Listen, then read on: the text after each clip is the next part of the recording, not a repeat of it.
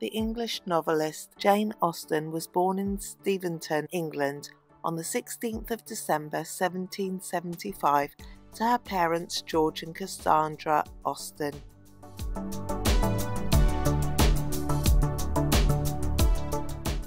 Have you heard of Jane Austen? Oh, Jane and her sister Cassandra and her cousin they came to Southampton to go to school. Their uncle was the mayor. She danced on her 18th birthday in the hotel in the High Street. We've got a hotel called the Dolphin Hotel. Jane, her mother, and Cassandra came here to stay with their brother, um, Francis Austen.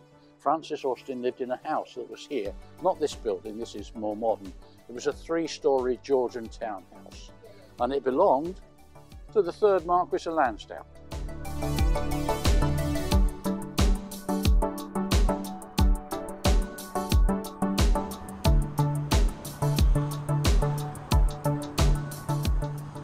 I've just got my ticket to go for the tour of Jane Austen's in Bath. So it was 14.75 for an adult, I believe. I'll put all the details below. So my tour starts in about seven minutes. Let's go.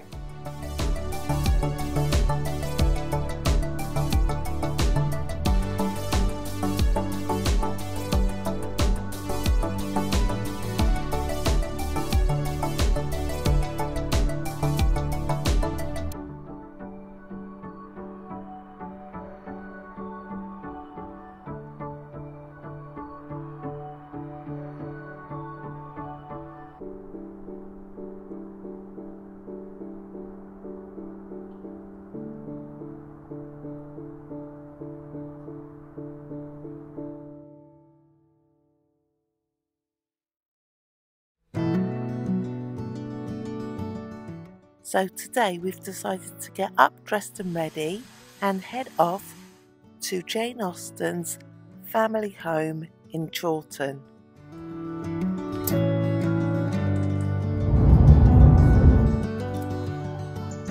Just stopped for a coffee in the little place across the road. It's so cute.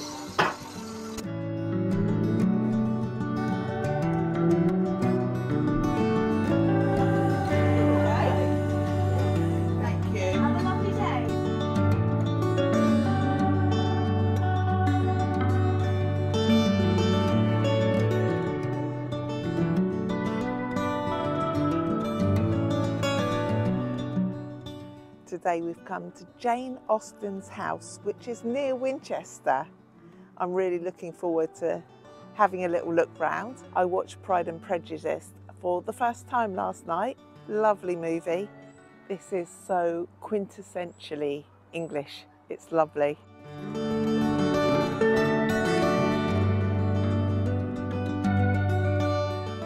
This is the washing machine. Let's have a little look.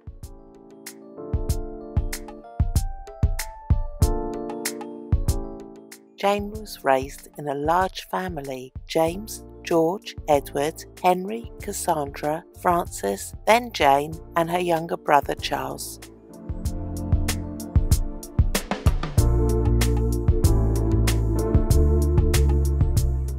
In her lifetime, she wrote six novels Sense and Sensibility in 1811, Pride and Prejudice in 1813, Mansfield Park in 1814, and Emma in 1816. Unfortunately, they only brought her modest success during her lifetime. Her final completed two novels, Northanger Abbey and Persuasion, were both published after her death. Jane did start another, which was eventually called Sanditon but she died before it was completed. Her novels have inspired many films, including the 1940s Pride and Prejudice, the 1995 Sense and Sensibility, and the 2016's Love and Friendship.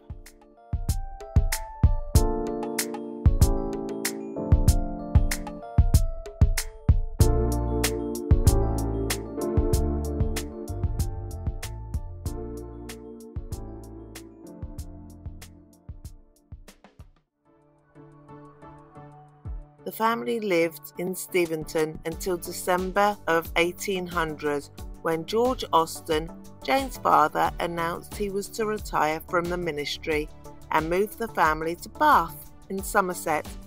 He died on the 21st of January 1805. After her father's death, it left the ladies in a financial situation as it was the sons who inherited. Edward, James, Henry, and Francis made annual contributions to support their mother and sisters.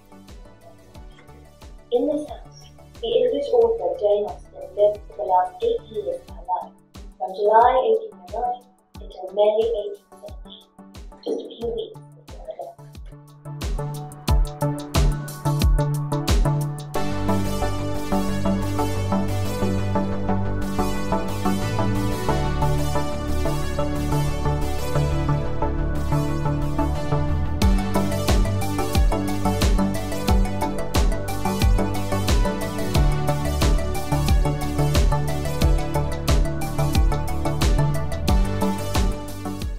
I really, really love this house. It is so beautiful.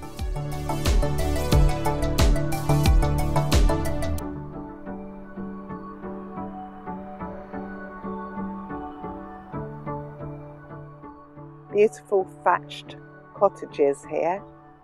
And on the top you can see the birds. Evidently each thatcher has his own birds that he puts up. So these were done by three different people. So we've just been down to visit Jane Austen's house up there. And then it's a 10 minute walk just down the road to her brother's house. So that's where we're headed now. In early 1809, Jane's brother Edward offered his mother and sisters the use of a large house in the Chawton village.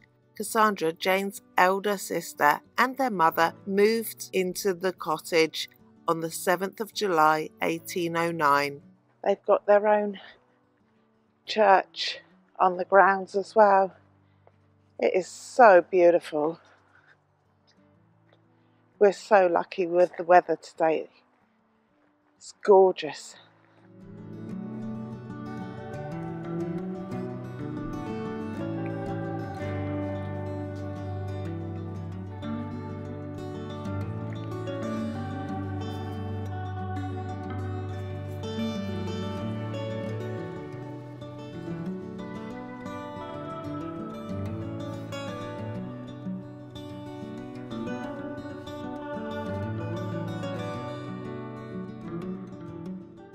Goodness me, look at the size of this place.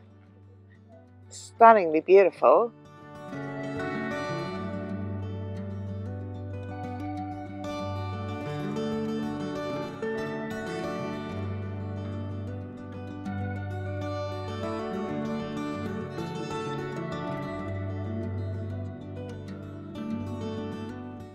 So unfortunately, they've got a convention here and there's a whole thing going in in the house, so I can't go in.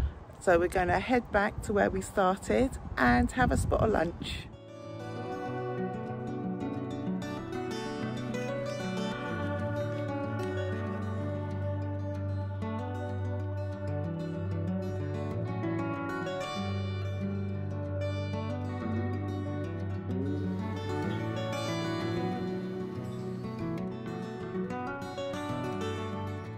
Jane was feeling unwell by early 1816.